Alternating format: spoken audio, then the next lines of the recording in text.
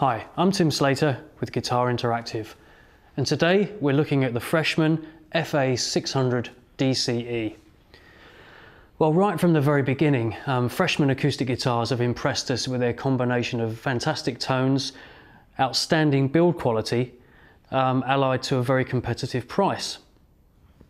The Freshman 600 series takes everything up a notch. Um, it still aims to deliver the tonal complexity and versatility of an expensive handmade guitar, whilst keeping the um, cost of the instrument on the affordable side. The Freshman 600 series uses a special blend of timbers. We have a very, very attractive, high quality quilted mahogany, which I hope you can see here, used for the back and the sides. Allied to an equally sumptuous Carpathian master grade spruce top. The attention to detail throughout on this guitar is really, really stunning. Um, the mahogany neck features walnut binding, which extends up across the um, headstock here. The body binding is also walnut. We have an ebony bridge, and also we have ebony end pins here, which have got little tiny mother of pearl inlays. We have a mother of pearl rosette, and the fingerboard inlays are also mother of pearl and these are laser etched so these are really precision made.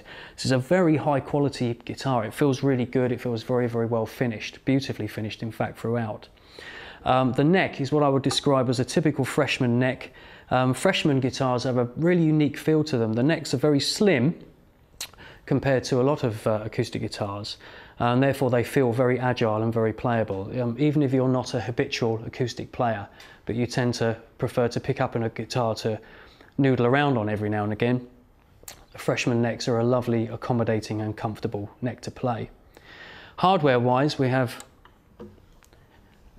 Grover Sta-Tite vintage style open back tuners which really lock in really tight and hold the tuning really well. And the overall impression is of a, it feels really more like an expensive hand built guitar. Um, it's very, very impressive indeed. The FA600 DCE also features an LR Baggs I-Beam active preamp with a control here just inside the sound hole. We'll just demo that for you now, see what it sounds like.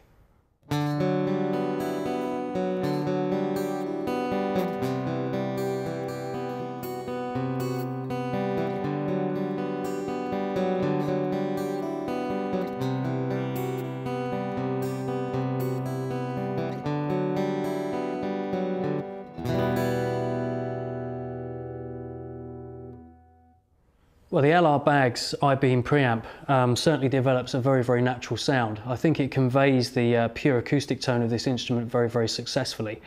And it's also very easy to use. There's just a simple rotary control, uh, volume control tucked away inside the sound hole here. Well, thank you for joining me on Guitar Interactive. And I've really enjoyed playing the Freshman FA600 DCE for you today. Personally, I'm really rather taken with this guitar. I think it's uh, develops a really good sound. It has lots of projection and power where you need it, um, but also lots of sweetness and some fantastic dynamics as well. It sweetens up when you finger pick or use a um, plectrum style, but for vigorous strumming, the guitar still really cuts through a mix really, really well. Um, and personally, I'm finding it very difficult to put down. So uh, if you don't mind, I'm just going to play out one more tune for you, and I look forward to seeing you again soon. Bye-bye.